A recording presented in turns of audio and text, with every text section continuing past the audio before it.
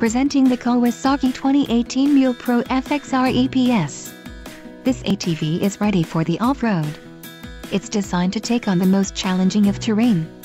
Financing options are also available for qualified buyers. Call now to ask the dealer about this unit.